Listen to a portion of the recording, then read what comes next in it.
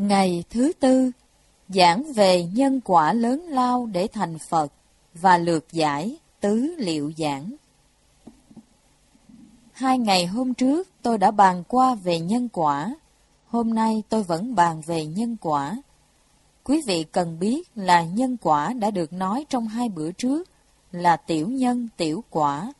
Nhân quả được bàn trong ngày hôm nay là đại nhân đại quả. Sở dĩ Đức Phật thành Phật thường hưởng pháp lạc chân thường. Sở dĩ chúng sanh bị đọa địa ngục, vĩnh viễn chịu khổ luân hồi kịch liệt. Cả hai việc này đều chẳng ra ngoài nhân quả. Hễ con người muốn trị thân tâm, thì trọn chẳng thể lìa nhân quả được. Con người hiện tại ham ăn nói lớn lối, chẳng cầu thực tế, bột chột bảo nhân quả là pháp tiểu thừa. Thật là lầm lẫn lớn. Nào biết đại thừa hay tiểu thừa trọn chẳng ra ngoài hai chữ nhân quả được. Tiểu thừa là tiểu nhân quả, đại thừa là đại nhân quả.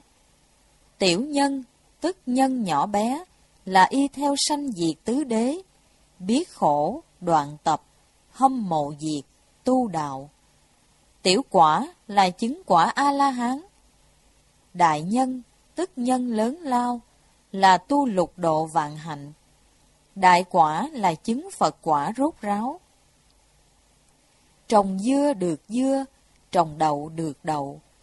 Đã có nhân nào, ắt sẽ có quả đó, chưa hề sai sót. Vì vậy, chẳng riêng người thế gian đều thuộc trong nhân quả, mà ngay chính Bồ Tát, Phật cũng chẳng ra ngoài nhân quả được. Nếu bảo nhân quả là tiểu thừa, hóa ra Phật Bồ Tát cũng là tiểu thừa ư? Đủ biết lời lẽ ấy ngông cuồng đến thế nào. Pháp hội này là pháp hội hộ quốc tức tai. Tôi chỉ mới bàn đến việc ngưng dứt tai nạn đau binh nước lửa, vẫn chưa phải là rốt ráo.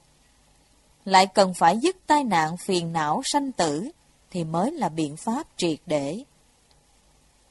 Chúng ta mê muội pháp thân của chính mình, dứt huệ mạng của Phật, đáng buồn, đáng đau. So với việc sắc thân bị tai họa, mê lầm mất pháp thân, nào phải chỉ gấp trăm ngàn vạn lần nặng nề hơn.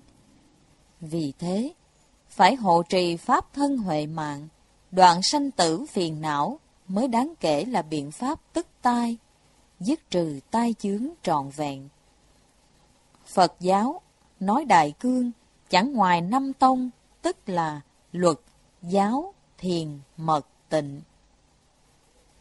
Luật là căn bản của Phật Pháp, nghiêm trì tịnh giới để mong tam nghiệp thanh tịnh, nhất tánh viên minh. Ngũ uẩn đều không, các khổ đều độ. Giáo là nương theo giáo Pháp mà tu quán, rời khỏi ngón tay chỉ mặt trăng, thấy được mặt trăng. Triệt ngộ Phật tánh sẵn có của đương nhân, kiến tánh thành Phật. Nhưng chữ thành Phật đó có nghĩa là thấy được Đức Phật thiên chân trong tự tánh, bèn gọi là thành Phật. Thiên chân có nghĩa là chân lý tự nhiên sẵn có, không cần phải tạo tác. Sách chỉ quán phụ hành truyền hoàng quyết, quyển 1 giảng rằng Lý không phải tạo tác thì gọi là thiên chân. Như vậy, thiên chân Phật chính là Phật sẵn có trong chân tâm, tức Pháp thân. Nhưng chữ thành Phật đó có nghĩa là thấy được Đức Phật thiên chân trong tự tánh, bèn gọi là thành Phật, chứ chưa phải là thành tựu, chứng được quả Phật của Bồ Đề Đạo. Mật dùng tam mật, thân mật, khẩu mật, ý mật gia trì, chuyển thức thành trí, gọi là tức thân thành Phật. Đây cũng chỉ là coi việc từ ngay nơi thân này liễu sanh thoát tử, nên bảo là thành Phật, chứ chưa phải là thành Đức Phật phước huệ viên mãn. Ba tông này đều có thể gộp vào thiền, vì khí phận giống nhau. Do vậy, tu trì Phật Pháp trọng yếu chẳng ngoài hai môn thiền và tịnh. Thiền chuyên cậy tự lực, nếu chẳng phải kẻ túc căn chính mùi, thì chẳng thể được lợi ích thật sự. Tịnh là kim nhờ Phật lực.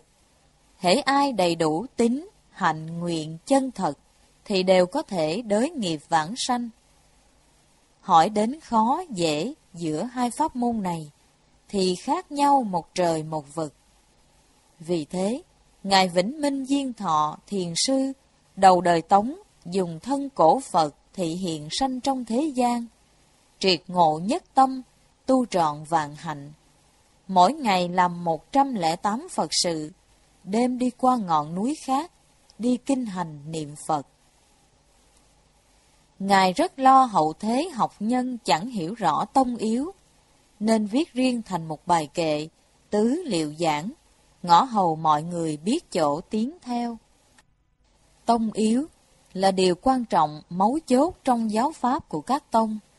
Sách Pháp Hoa Kinh Huyền Nghĩa quyển 1 giảng rằng Tông yếu nghĩa là trọng yếu, tức là nhân quả của chính Đức Phật đã hành, thì gọi là tông. Thế nào là yếu? Vô lượng các điều nhân, hệ nói nhân thì đều bao gồm hết. Vô lượng sự chứng đắc, hệ nói là quả thì đều bao gồm hết. Như dở cái lưới lên, không mắc lưới nào chẳng động. Nắm một góc áo, không sợ vải nào chẳng dính theo, nên gọi là tông yếu. Bài kệ tứ liệu giảng như sau. Hữu thiền, hữu tịnh độ, do như đới giác hổ. Hiện thế vi nhân sư, lai sanh tác Phật tổ. Vô thiền, hữu tịnh độ, vạn tu, vạn nhân khứ. Nhược đắc kiến di đà, hà sầu bất khai ngộ. Hữu thiền, vô tịnh độ, thập nhân cửu tha lộ ấm cảnh nhược hiện tiền, miết nhĩ tùy tha khứ. Vô thiền vô tịnh độ, thiết sàng tịnh đồng trụ, vạn kiếp giữ thiên sanh, một cá nhân y hổ. Nghĩa là, có thiền có tịnh độ, khác nào hổ thêm sừng, hiện tại làm thầy người, đời sau làm Phật tổ không thiền có tình độ, vạn tu vạn cùng sanh. Nếu được thấy di đà, lo gì chẳng khai ngộ. Có thiền không tịnh độ, mười người chính chần chừ, ấm cảnh nếu hiện tiền, chớp mắt đi theo nó. Không thiền không tịnh độ, giường sắt cùng cột đồng, muôn kiếp với ngàn đời, không một ai nương dựa. 80 chữ này là cương yếu cả một đời giáo hóa của Đức Như Lai, là khuôn mẫu huyền diệu để người học Phật liễu thoát ngay trong đời này. Người đọc trước hết cần phải hiểu rõ thế nào là thiền, thế nào là tịnh độ. Thiền và tịnh độ là ước về lý, về giáo mà nói. Có thiền, có tịnh độ là ước về căn cơ, ước về tu mà luận. Luận theo lý giáo, hai pháp trọn chẳng khác gì nhau. Xét về mặt cơ, tu, tức căn cơ và tu hành. Hai pháp khác nhau rất xa. Lời tuy tương tự, ý nghĩa thật khác biệt. Cần phải chú ý thì mới chẳng cô phụ tấm lòng đau đáu của Tổ Vĩnh Minh. Gì là thiên? Đấy chính là chân như Phật tánh của chúng ta sẵn có. Nhà thiền thường gọi là bản lai diện mục trước khi cha mẹ sanh ra. Tông môn chẳng nói toạc ra để người ta tự tham cứu, tự lãnh ngộ, nên nói như thế. Thật sự, nó chính là ly niệm, linh tri, không năng, không sở, vừa tịch vừa chiếu vậy. Năng là đối tượng chủ thể, sở là đối tượng thụ động, Chẳng hạn chúng ta đọc sách thì nhãn thức và ý thức là năng, cuốn sách được đọc là sở. Tịch và chiếu là hai mặt của chân tâm.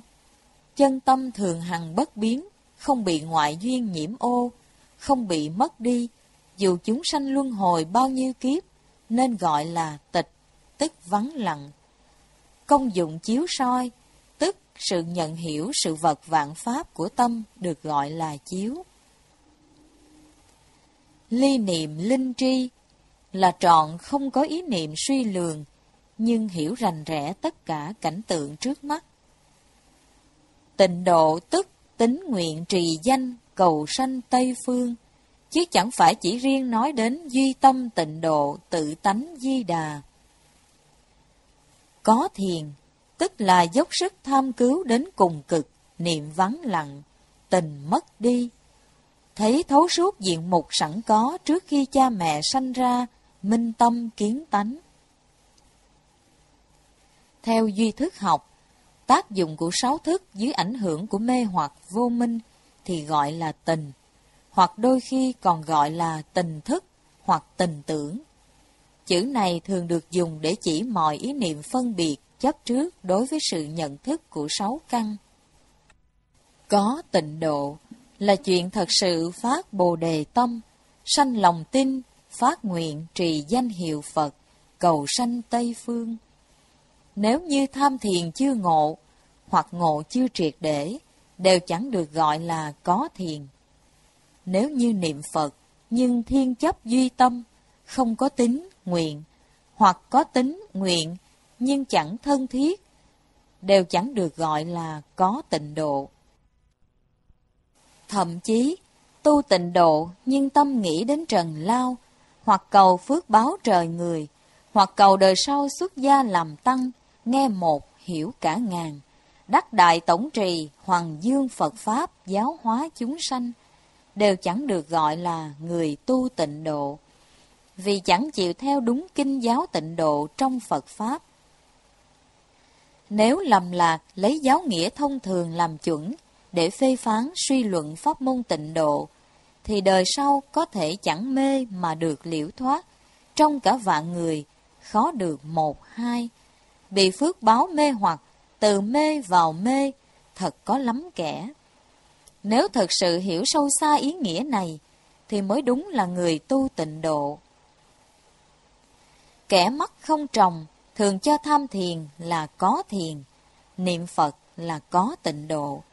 Tự lầm, lầm người, há chẳng phải là tai hại cùng cực sao? Ở đây, tôi đã thuyết minh thế nào là có hay không có thiền tịnh.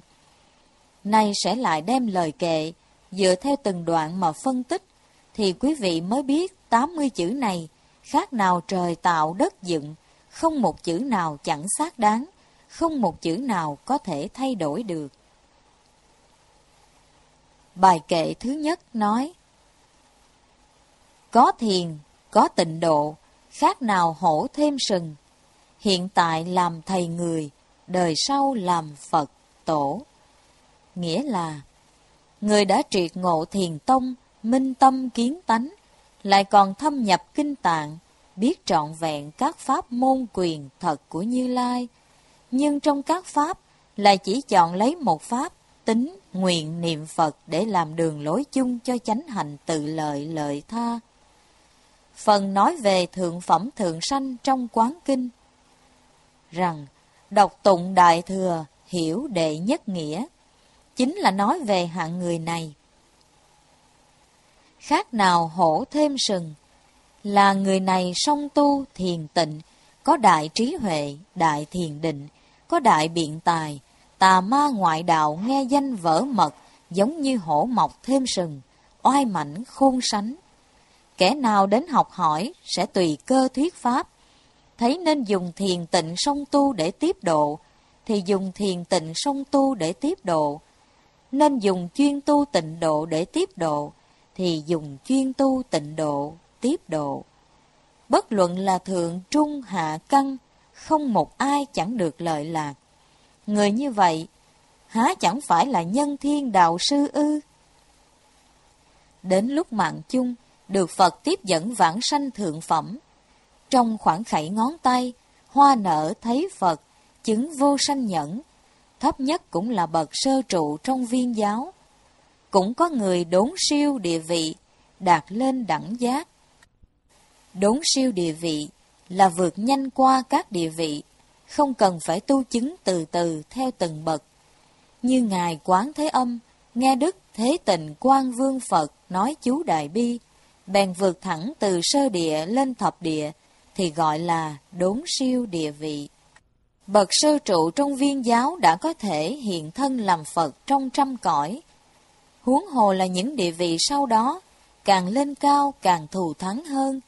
Tính thẳng đến địa vị thứ 41 là địa vị đẳng giác, thì càng thù thắng đến mực nào nữa. Vì thế nói, lai sanh tác Phật tổ, tức đời sau làm Phật tổ. Bài kệ thứ hai là không thiền có tịnh độ, vạn tu, vạn cùng sanh. Nếu được thấy di đà, lo gì chẳng khai ngộ. Do người ấy tuy chưa minh tâm kiến tánh, nhưng cứ quyết chí cầu sanh Tây Phương. Trong kiếp xưa, Phật từng phát đại thệ nguyện nhiếp thọ chúng sanh như mẹ nhớ con. Nếu chúng sanh thật sự như con nhớ mẹ, chí thành niệm Phật, thì cảm ứng đạo giao liền được Phật nhiếp thọ. Kẻ tận lực tu định huệ được vãng sanh đã đành, mà kẻ ngũ nghịch thập ác, lúc lâm chung, bị sự khổ bức bách, phát tâm hổ thẹn lớn lao, xưng niệm Phật danh, hoặc đến 10 tiếng, hoặc chỉ một tiếng, rồi liền mạng chung, cũng đều được hóa thân của Phật tiếp dẫn vãng sanh. Đấy chẳng phải là vạn tu, vạn người sanh hay sao? Tuy kẻ ấy niệm Phật chẳng bao lâu, nhưng do niệm Phật cực kỳ mãnh liệt, nên đạt hiệu quả lớn lao. Chớ nên đem người niệm Phật hờ hững, lững lờ để so sánh nhiều ít. Đã sanh về Tây Phương, gặp Phật, nghe Pháp, tuy có nhanh chậm khác nhau, nhưng đều cao dự dòng thánh, vĩnh viễn chẳng lui sụp, tùy theo căn tánh sâu hay cạn, sẽ hoặc dần già hoặc nhanh chóng chứng đạt các quả vị. Đã chứng được quả, thì chuyện khai ngộ cần gì phải nói nữa. Bởi thế mới bảo, nếu được thấy di đà, lo gì chẳng khai ngộ. Bài kệ thứ ba là Có thiền không tịnh độ, mười người, chín chần chừ. Ấm cảnh nếu hiện tiền, chớp mắt đi theo nó. Do người ấy tuy triệt ngộ thiền tông, minh tâm kiến tánh, nhưng kiến tư phiền não chẳng dễ đoạn trừ, cần phải qua bao duyên rèn luyện, khiến phiền não bị đoạn trừ sạch, không còn sót. Sau đấy, phần đoạn sanh tử mới có thể xuất ly. Phần đoạn sanh tử còn gọi là phần đoạn tử hoặc hữu vi sanh tử, là sanh tử trong tam giới. Gọi là phần đoạn, tức có giai đoạn, có thời gian, vì do quả báo sai khác mà có hình dáng, thọ lượng nhất định. Như vậy, xuất ly phần đoạn sanh tử, có nghĩa là thoát khỏi tam giới. Còn như kẻ chưa đoạn được mảy may nào, ta chẳng cần bàn đến. Nếu như đoạn phiền não mà còn sót chút mảy may chưa thể đoạn sạch, thì luân hồi sáu nẻo vẫn y như cũ, khó bề trốn tránh. Biển sanh tử sâu thẳm, đường bồ đề xa vời vợi. Nếu chưa về đến nhà đã liền mạng chung, thì trong mười người đại ngộ, tám chín người đã giống như thế. Vì thế mới nói, thập nhân cửu tha lộ, tức mười người, chín chần chừ. Chữ tha ở đây nghĩa là tha đà, nếu nói thông thường là chần chừ. Ấm cảnh là cảnh tượng của thân trung ấm, tức là các cảnh tượng do nghiệp lực thiện ác trong đời này và bao kiếp trước cùng hiện ra khi lâm chung. Khi cảnh này hiện ra, chỉ trong nháy mắt sẽ theo nghiệp lực thiện hay ác nào mạnh nhất, đi thọ sanh trong đường thiện hay ác, chẳng thể tự làm chủ được mảy may, giống như người mắc nợ, chủ nợ nào mạnh sẽ lôi đi trước. Tâm tình lắm mối sẽ nghiêng lệch về chỗ nào, tâm mình đặt nặng. Ngũ tổ giới tái sanh làm tô đông pha, thảo đường thanh lại làm lỗ công. Ngũ tổ là tên núi, đồng thời là tên chùa. Sư giới thiền sư, người thời Tống thuộc Tông Vân Môn, nối pháp của Ngài sông Tuyền Sư Khoan, trụ trì chùa Ngũ Tổ, núi Ngũ Tổ tại Tô Châu, nên thường gọi là Ngũ Tổ Giới. Chấn hưng tông phong mạnh mẽ. Theo Tây Quy trực chỉ quyển 3, Thanh Thảo Đường Thiền Sư khá có giới hạnh, tuổi ngoài 90, thường được nhà họ tăng cúng dường hậu hỷ, bèn hứa thác sanh vào nhà ấy làm con. Sau, họ tăng sinh được một người con, cho người đến tìm Thảo Đường thì sư đã tọa hóa. Theo viên anh Pháp Sư, Thảo Đường Thanh là người đời Tống, là bậc tông tượng trong nhà thiền. Tuổi già, thấy vị tể tướng đã cáo lão hồi hương, hết sức vinh diệu, chợt khởi tâm niệm hâm mộ, bèn thác sanh vào nhà ấy. Về sau, trở thành tể tướng tăng lỗ công. Do một tâm niệm tham luyến mà công hành tu thiền cả đời bị vứt bỏ. Đấy vẫn còn là bậc thượng, nên nói, ấm cảnh nếu hiện tiền, chớp mắt đi theo nó. Gọi là bậc thượng vì thân sau còn chưa lâm vào hoàn cảnh tệ hại lắm. Trong ấn quan văn sao có thuật chuyện vị tăng ở núi Nhạn Đảng, thân sau trở thành tầng cối. Vị tăng trở thành con gái ông Châu Phòng Ngự. Có nhiều trường hợp còn đọa vào ác đạo nữa. Chữ ấm Âm nghĩa giống như chữ ấm, có nghĩa là che đậy. Ý nói do nghiệp lực này ngăn che, nên chân tánh chẳng thể hiển hiện.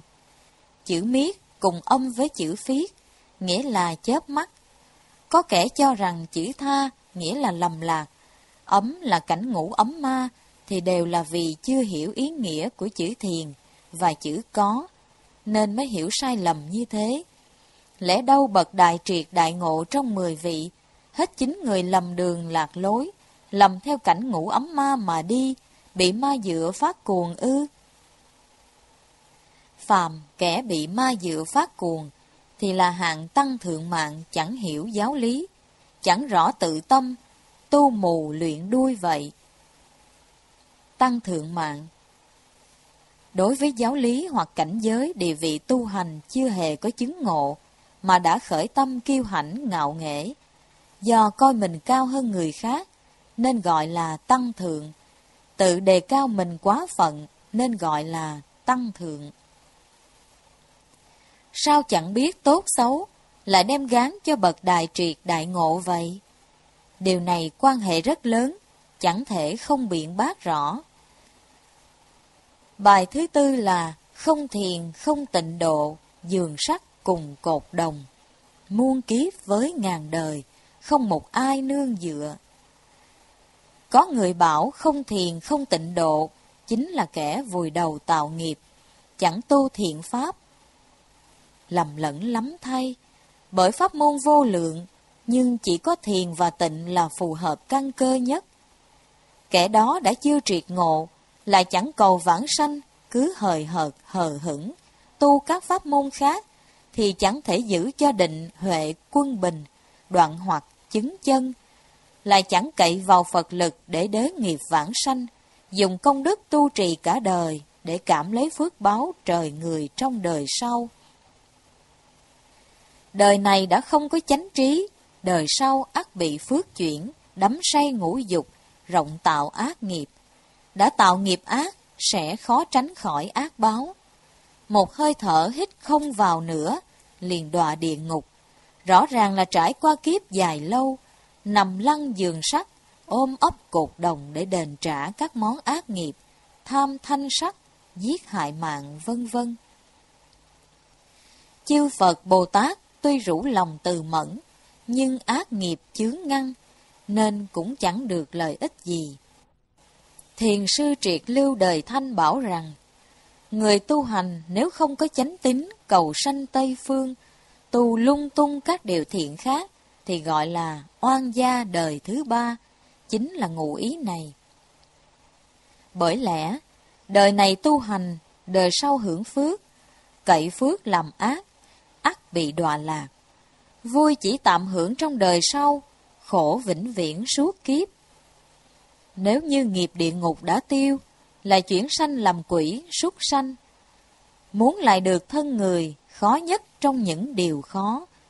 Bởi thế, Đức Thích Ca dùng tay bốc đất hỏi Ngài A Nan rằng: Đất trên tay ta nhiều hay đất trên đại địa nhiều? A Nan bạch Phật: Đất trên đại địa nhiều. Phật dạy: Được thân người như đất trên tay, mất thân người như đất trên đại địa.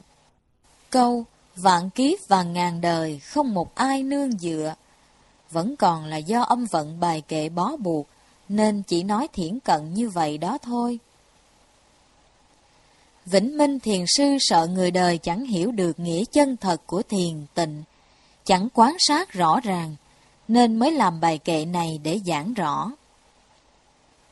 Có thể nói, bài kệ này là chiếc bè báu để thoát bến mê, là người dẫn đường lìa nẻo hiểm, công lao rất lớn. Bởi lẽ, hết thảy pháp môn chuyên cậy vào tự lực, chỉ riêng pháp môn tịnh độ, kim nhờ Phật lực. Hết thảy pháp môn phải hết sạch hoặc nghiệp, thì mới có thể liễu sanh tử. Pháp môn tịnh độ đới nghiệp vãng sanh, liền dự vào dòng thánh. Người đời chẳng xem xét, coi tịnh độ là vô dụng, thật đáng than lớn. Hiện tại, người ta hay cho rằng kháng thoại đầu là cách tu thích hợp nhất. Cứ cho rằng hệ lâm chung được chết an lành là liễu thoát. Nào hay lời ấy là lời nói mớ của những kẻ chưa mở chánh nhãn. Ở đây, tôi dẫn chuyện cũ để làm thí dụ. Vào khoảng đời Càng Long Gia Khánh nhà Thanh, có ba vị thiền tăng cùng tham thiền với nhau. Chết đi, một vị sanh tại Giang Tô, tên là Bành Văn Chương. Một vị sanh ở Vân Nam, tên là Hà Quế Thanh. Một vị sanh ở Thiểm Tây, tên là Trương Phí. Trong ba người, chỉ ông Bành nhớ được chuyện kiếp trước. Sau lên kinh thi hội, gặp hai người kia liền kể chuyện kiếp trước cùng làm tăng. Hai người kia tuy không nhớ được việc cũ, nhưng vừa thấy ông Bành đã như gặp lại cố nhân, trở thành bạn thân thiết. Vào điện thí, tức thi đình, ông Bành đậu trạng nguyên, ông Hà đậu bản nhãn, ông Trương trúng truyền lô. Điện thí là vào cung vua dự thi dưới sự chứng kiến của vua. Theo thể lệ thời Minh Thanh, thi cử gồm ba giai đoạn, hương thí, hội thí và điện thí.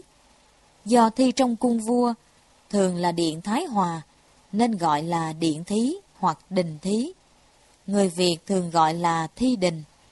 Trong khoa thi này, người đậu đầu gọi là trạng nguyên, người thứ hai gọi là bản nhãn, người thứ ba là thám hoa. Ông Trương không dự vào ba hạng này, chỉ đổ tiến sĩ, được vua sướng danh các tiến sĩ tân khoa, nên tổ nói ông đậu truyền lô. Truyền lô gọi đủ là kim điện truyền lô, tức xướng danh trong điện vàng. Tức là hai ngày sau khi yết bản ghi danh các sĩ tử thi đậu, các vị tân khoa tiến sĩ sẽ được triệu tập vào điện Thái Hòa, được nội quan xướng danh đến trước mặt vua lạy tạ, và được vua ban thưởng ngự tửu đại yến. Họ Bành sau từng làm chủ khảo, học đài, nhưng khá tham sắc, sau chết tại nhà.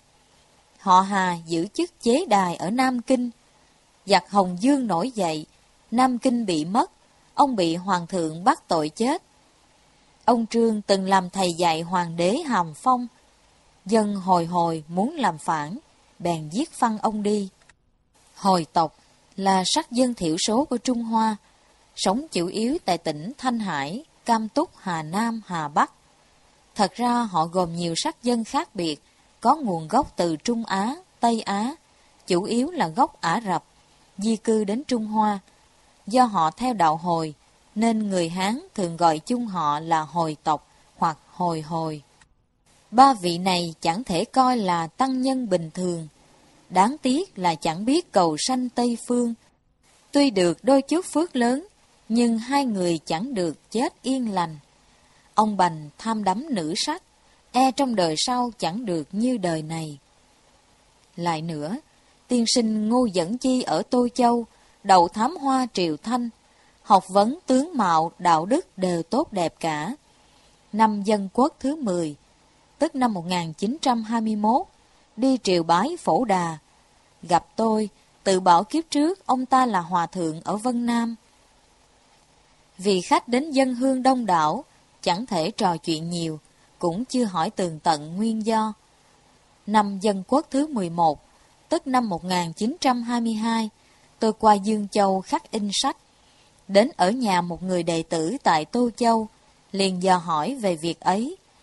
Định bụng, xưa kia vì chưa rõ nguồn cơn, nay muốn gặp ông ta để đàm luận, nhưng rồi hoàn toàn quên mất. Từ đó, chẳng qua lại với nhau nữa. Đến năm dân quốc thứ 19, tức năm 1930, tôi bế quan tại chùa Báo Quốc. Đến tháng 11, ông ta cùng hai tiên sinh Lý Ấn Tuyền, Lý Hiệp Hòa đến thăm. Tôi hỏi, sao ông biết kiếp trước là nhà sư ở Vân Nam? Ông ta bảo, năm 26 tuổi, tôi nằm mộng đến một ngôi chùa kia, biết là chùa X ở huyện X thuộc tỉnh Vân Nam. Trông thấy hình dạng điện đường phòng xá, cây cối, đều như thường thấy, cũng thấy mình là Tăng. Tỉnh dậy, nhớ rất rõ, ghi chép lại từng điều. Sau đấy, một người bạn của tôi đi làm quan ở Vân Nam. Tiên sinh Trương Trọng Nhân còn chưa biết tên họ ông này. Đem đối chiếu những lời ông ta chép thì không sai lệch mảy may. Tôi bảo, tiên sinh nay đã 80 tuổi, không còn được bao nhiêu ngày nữa. Hãy nên khôi phục sự nghiệp hòa thượng kiếp trước, nhất tâm niệm Phật cầu sanh Tây Phương, thì mới chẳng phụ công khó tu trì đời trước. Ông ta đáp, niệm Phật có gì là hy hữu lạ lùng? Tôi nói, niệm Phật tuy chẳng phải là hy hữu lạ lùng gì, nhưng thế gian chẳng có mấy người niệm. Chuyện chẳng hy hữu lạ lùng nhất là chuyện ăn cơm, cả thế giới không một ai là chẳng ăn. Đấy là sự chẳng hy hữu lạ lùng bậc nhất. Vì sao ông vẫn cứ phải làm? Ông ta chẳng đáp được, nhưng vẫn không chịu niệm. Ông ta hỏi hai ông Lý, các vị có niệm không? Họ đáp niệm chứ.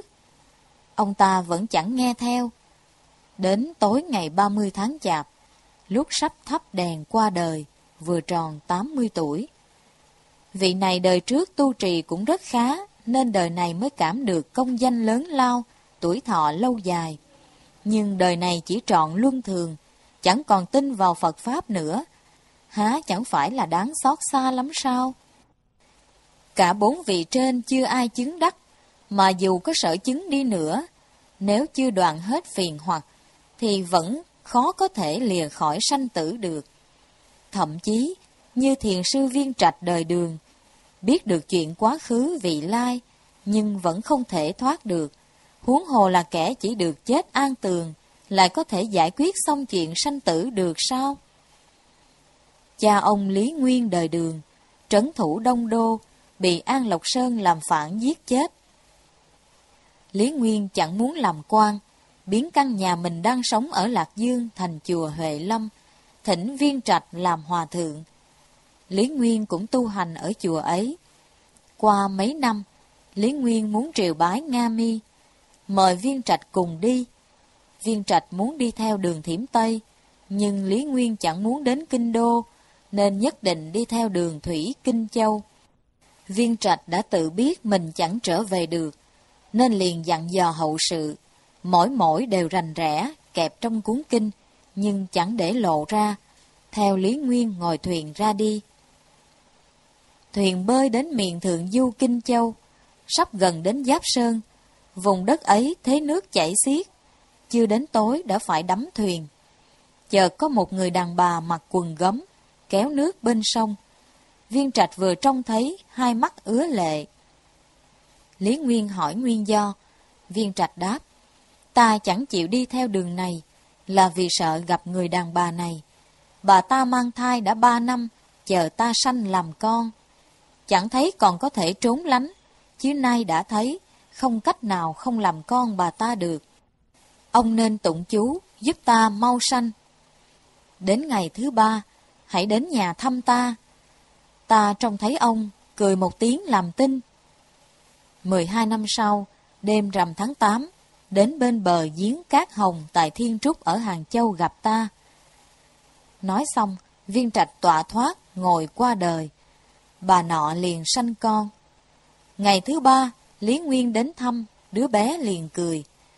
Sau đấy Lý Nguyên quay về chùa Huệ Lâm, thấy trong quyển kinh đã viết sẵn lời dự ngôn về hậu sự, càng thêm tin sư viên trạch chẳng phải là kẻ tầm thường.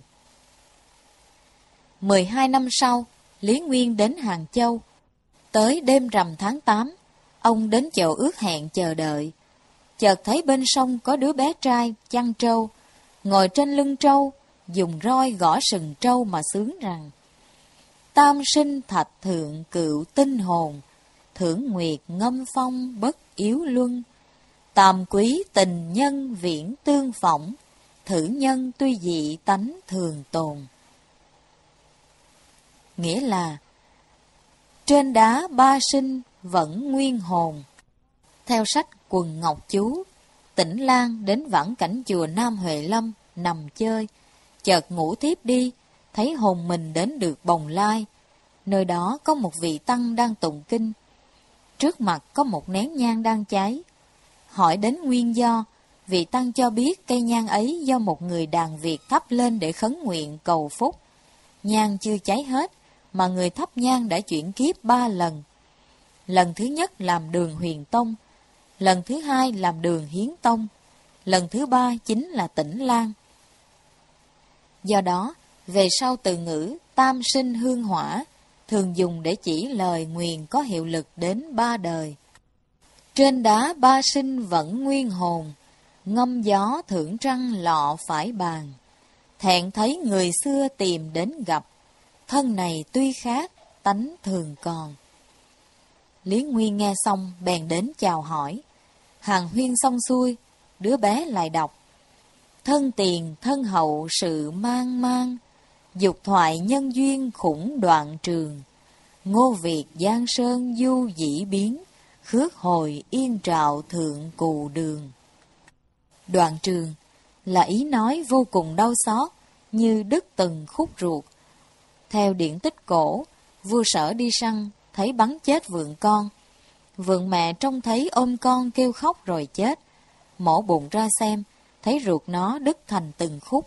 Do đó, cổ văn thường dùng chữ đoạn trường để diễn tả nỗi đau xót. Nghĩa là, thân trước, thân sau, sự vấn vương, bàn chuyện nhân duyên luống đoạn trường, ngô Việt Giang Sơn chơi khắp cả, gác chèo mây khói ẩn ao chuông. Rồi, rủi trâu đi mất. Thân phận như thế còn chưa liễu thoát được, huống hồ là những kẻ chỉ mới lãnh hội được câu thoại đầu, được chết an lành, mà coi là đã liễu thoát ư. Cậy vào tự lực để thoát sanh tử khó khăn như thế đó, cậy vào Phật lực để thoát sanh tử dễ dàng như thế đó. Vậy mà người đời vẫn cứ buông bỏ Phật lực để cậy vào tự lực, cũng là vì chưa hiểu rõ lẽ màu nhiệm. Nay dùng hai câu sau đây để nói toạc ra. Chỉ vì tri kiến sai lầm, muốn tỏ vẻ ta là hạng người bậc thượng, chẳng chịu làm chuyện tầm thường, không hy hữu lạ lùng vậy. Xin hết thảy mọi người hãy suy nghĩ chính chắn chuyện đã qua của năm người này, rồi tự lợi lợi tha, sốt sắng tu tịnh nghiệp, như lo chôn cất cha mẹ, như cứu đầu cháy, thì mới khỏi luống uổng đời này và lần gặp gỡ này.